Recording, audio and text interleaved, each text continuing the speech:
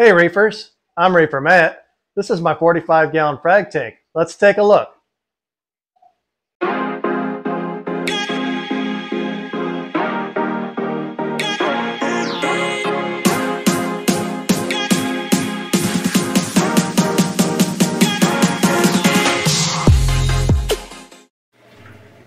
And here's the new frag tank.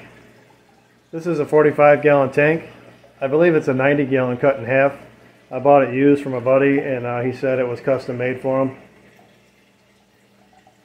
This is the acro that I uh, accidentally fragged the whole colony yesterday. But uh, there was enough frags of it growing inside the uh, 75 gallon SPS tank so I just left it out.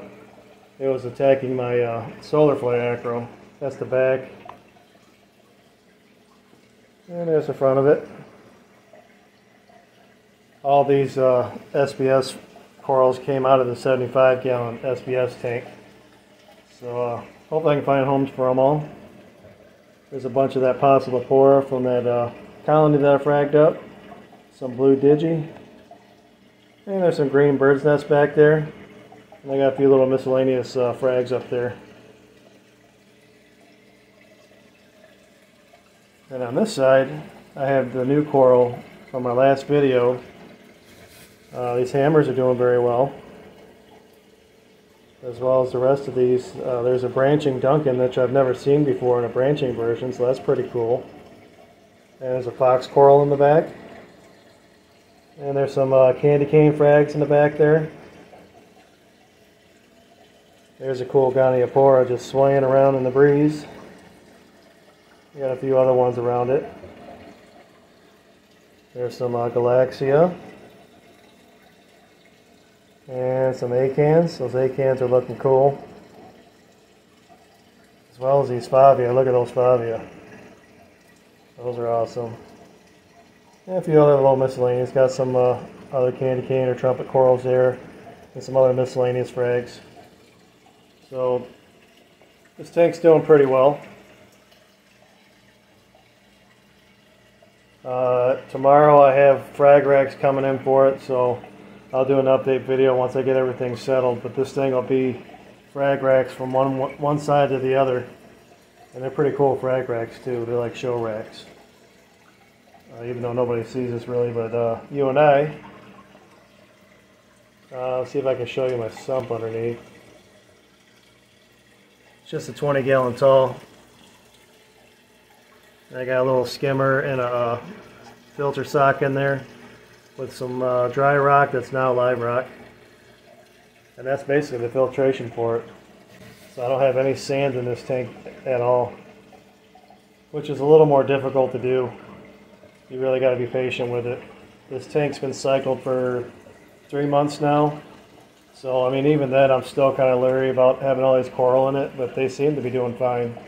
So I just keep an eye on the alkalinity and the nitrates and all that, and uh, keep everything in check.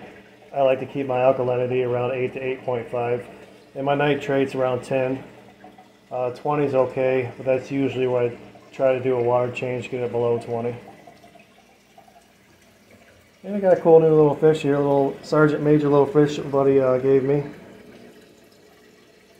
Maybe just like the one on the uh, 75 gallon. I got Sarge in the 75 gallon.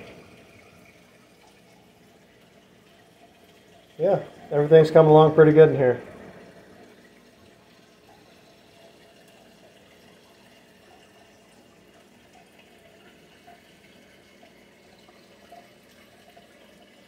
Just a lot of Pocillopora. I mean, I can't throw it out, it's coral. We'll see, I'll find homes for them.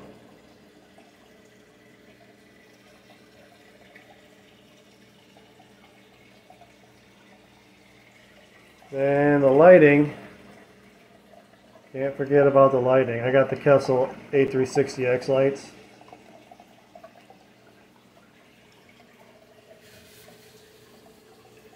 And I have them on a separate uh, schedule for uh, light intensity. Right now they're turned up for the video.